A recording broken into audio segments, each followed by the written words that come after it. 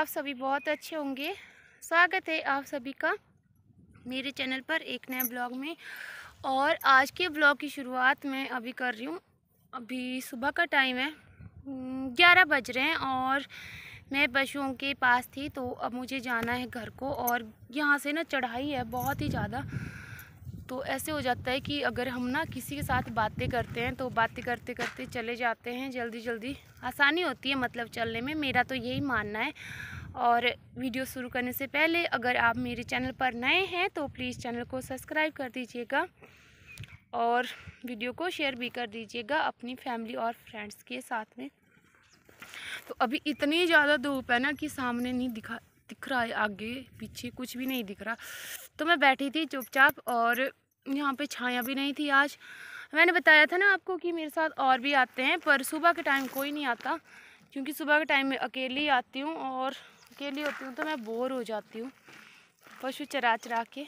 तो अब चलते हैं घर की तरफ़ और ऊपर ऊपर को मुझे जाना है यहाँ से। इस साइड को है मेरी गाय और कुछ एक ऊपर है।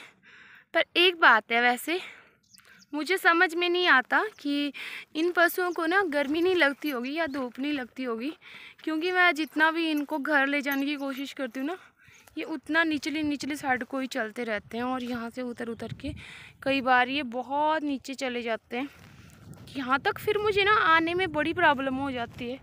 अब देखो इतनी धूप है, ग्यारह बजे का टाइम है और यहाँ से मुझे एक किलोमीटर, डेढ़ किलोमीटर ऊपर घर तक चढ़ना है। फिर ऊपर जा कर के मुझे इनको पानी पिलाने ले जाना है।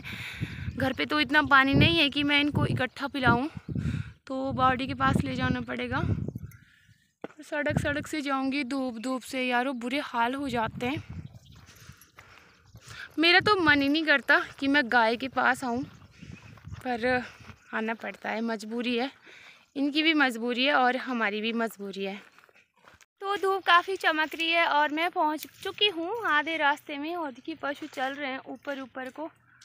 और अभी तो बहुत ऊपर तक जाना है हमें। पर ये तो अब चल पड़े हैं, पर मेरे खुद से नहीं चला जा रहा। धूप देखिए कितनी तेज़ लग रही है। ये देखिए, पशुओं ने धीरे धीरे चढ़ना स्टार्ट कर दिया है। घर की तरफ़ और पानी पीने की तरफ़। अभी जाऊँगी सबसे ऊपर और वहाँ से फिर हम बॉडी की तरफ़ जाएँगे।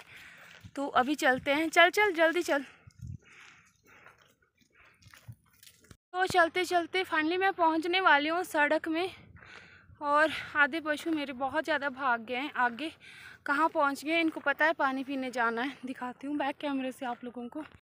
तो ये देखिए फ्रेंड्स इन्होंने अपना रोड वाला रास्ता, यानी कि सड़क वाला रास्ता ले लिया है और ये चल पड़े हैं सड़क सड़क से। शायद आपको दिखाई दे रहा होगा कि नहीं और यहाँ लास्ट वाले मोड़ पर है बावड़ी तो ये यहीं पे पानी पीते हैं। और इस टाइम ना, मैं भी इतना ज़्यादा थक गई हूँ कि मैं बहुत नीचे से चढ़ के आई हूँ, चढ़ाई। तो अब मन ही नहीं कर रहा कि बात करूँ। और मुझे ना इन पशुओं के साथ साथ मुझे खुद भी प्यास लगी है और देखिए, आगे इतनी तेज़ धूप है। बहुत मुश्किल नहीं नामुमकिन होता है इतनी तेज़ धूप में चल कर के आना। और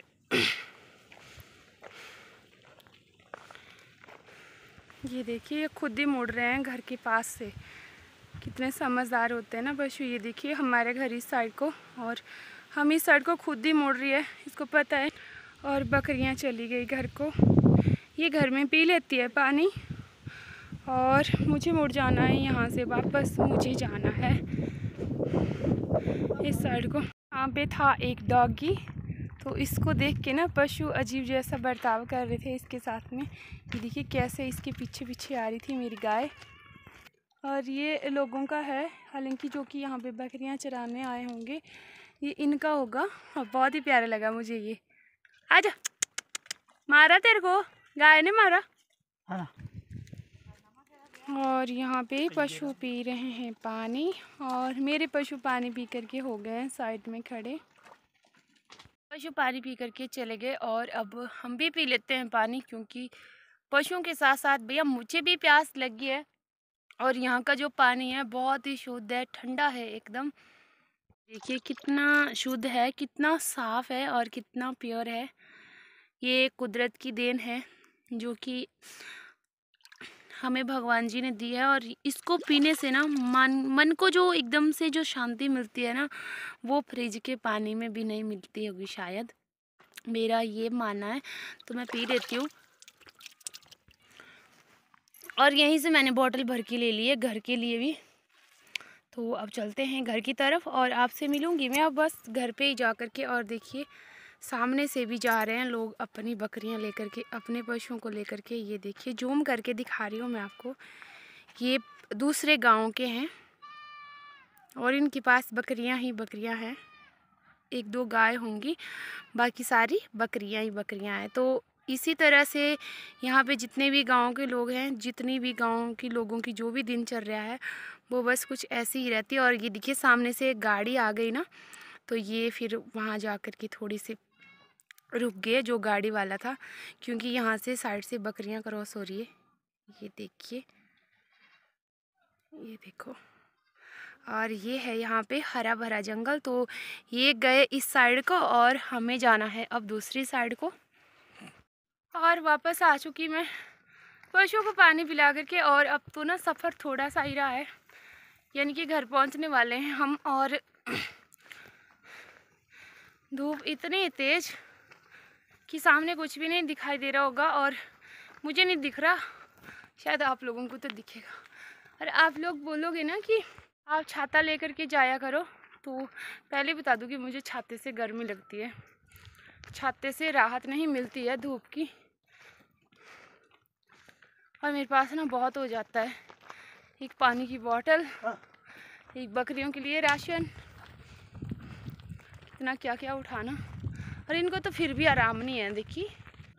और ये टाइम है शाम तीन बजे का, जबकि वंशु आया है स्कूल से और मैं उठी थी थोड़ा सा रेस्ट करके। मैं चाय पी रही हूँ और यहाँ पे वंशु पी रहा है दूध।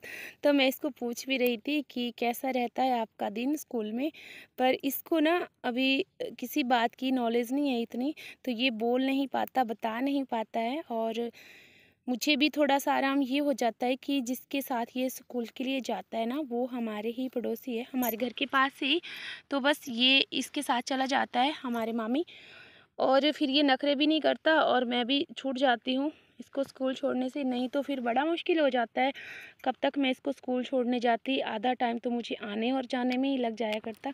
तो यहाँ पे हम, मैं और वंशु हम दोनों चाय दूध पी रहे थे और वंशु कर रहा था बातें। पर इसकी बातें इतनी तोतली होती है अजीब अजीब सी, कि फिर मुझे ना बाद में कैमरा म्यूट करना पड़ा और देखिए आप लोगों को ये अपने खिलौने दिखा रहा था कि मेरे पास खिलौने हैं और आप लोग भी देखिए, देखो इसकी शरारतें, इतनी अजीब अजीब सी हरकतें, मुझे ना बहुत अच्छा लगता है, बहुत ही अच्छा और इसके बाद में फिर अब हम जाएँगे काऊ मिल्किंग करने तो ये आज सोया नहीं है और ये मेरे साथ साथ में जाएगा, जहाँ जहाँ मैं जाऊँगी, वहीं वहीं ये जाएगा। और यहाँ पर मैं लग पड़ी थी फिर काऊ मिल्किंग करने। अभी साढ़े तीन बजे का टाइम है तो मैं काऊ मिल्किंग करने लग पड़ी। और देखते हैं, अब हमारे यहाँ सरियाज में ही छोटा सा प्लांट लग रहा है, यानी कि जो कामधेनु वाले हैं, उनकी ओर से ही। तो थोड़ी राहत मिल जाएगी मुझे। लगता है मुझे ऐसा अभी बाकी होना तय है कि कब तक ये इस पर काम चलेगा और ये कब चालू होगा। जब चालू हो जाएगा तो थोड़ा सा ये हो जाएगा कि थोड़ी गाड़ी हमारी लेट आया करेगी दूध की। हो सकता है पाँच बजे आए छः बजे आए तो थोड़ा सा हो जाएगा। देखिए, यहाँ भी वंशु, आपको हेलो कर रहा है। क्योंकि इसको कहीं ना कहीं से ये समझ है कि मम्मी जो है वो वीडियो बनाती है और मैं वीडियो में दिखता हूँ। तो आजकल के बच्चे बड़े शरारती शरारती के साथ साथ समझदार भी है। ऐसी बात नहीं है कि समझदार नहीं है और इस टाइम ना काउ मिल्किंग करना बहुत मुश्किल होता है। देखिए, बेचारी गाय को लगी है मक्खियाँ और वैसे तो मैं दरवाज़ा दे कर के काउ मिल्किंग करती हूँ, पर आज तो ये नामुमकिन ही था, क्योंकि यहाँ पे वंशु था और वंशु बार बार दरवाज़ा खोल रहा था। कभी मुझे बुला रहा था तो कभी बकरियों के साथ खेल रहा था। बस इसके नखरे ऐसे ही चलते हैं और काउ मिल्किंग करने के बाद में फिर अब हम वहीं जाएँगे जहाँ से हम आए थे सुबह। बस यही होती है हमारी दिनचर्या क्या करना क्या नहीं करना पूरे दिन। क्यों? तेने क्या करना वहाँ जाके? हम्म? क्या करना? हम्म। ना। ना हाँ। हम्म, हाँ। मैंने जाना खुद ना। मैंने जाना खुद। दूध लेके। तो अभी हाँ। अभी लगाना बाल्टी को ढक्कन। हाँ। और हाँ। कहाँ गया होगा इसका ढक्कन। ये रहा हमारी बाल्टी का ढक्कन। हाँ। है ना? और ये रही हमारी बाल्टी यहाँ पे।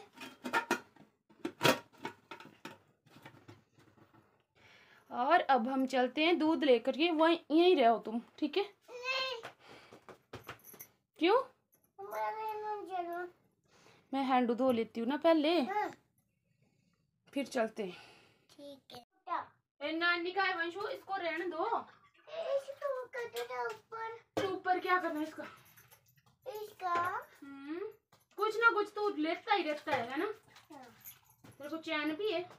नहीं। हम्म नहीं है ही नहीं ना मेरा कर दो आपने भी दो ना।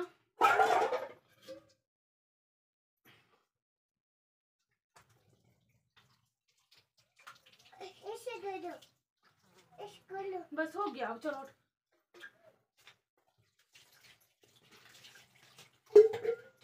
हो गए तेरे हैंडू साफ़? अच्छा। चले? हाँ जी। कई? ए देख आई काला चुका मेरा काला